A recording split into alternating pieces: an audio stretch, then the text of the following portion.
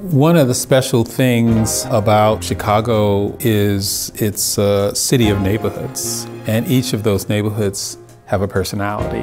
Austin is a neighborhood that has a really vibrant African American cultural community. And so they like to say that the soul of Chicago is Chicago Avenue right there in Austin.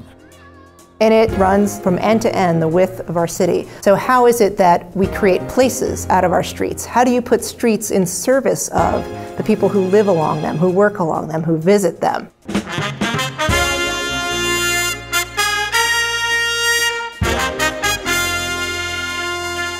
I just, this lot on the corner of Chicago and Lockwood has been sitting there for, I don't know, years. My mom lives a block from there. So we would walk to the corner store, I would take my kids, and we just imagine what that space would look like.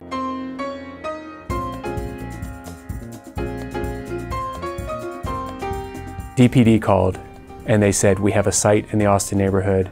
There's funding from United Way of Metro Chicago, but we don't have a a design, we don't have a project. It wasn't how do we express ourselves in this design, it was about how do you create something that's like beautiful from the start, but people can come in and put their own spin on it and the community can really imprint themselves on it so it becomes theirs. So we did that through, you know, the mural obviously, but also community paint day.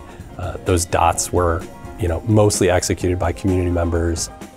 It's not just basketball court, PopCourts, it's three courts as in places to gather. The basketball court could be a community gathering space or you set up a stage and a DJ booth.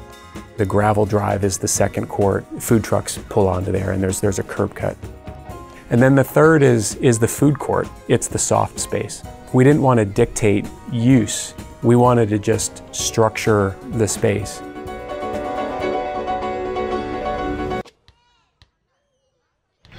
West side, we had to make our imprint. And here's what we call our Soul City corridors.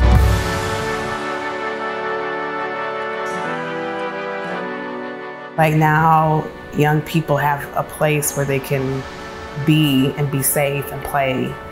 And, and, I think in a lot of communities, those things are taken for granted. Just a, a place for young people to be themselves and play in such a lack in communities like Austin being able to have something tangible that you see that you're like, yes, we did this together, right? Like we were able to achieve this. Everyone was able to rally around and make this happen. A quality space adds value. That design really, really matters. And it can be quick, it can be tactical, and it can kind it can be joyous.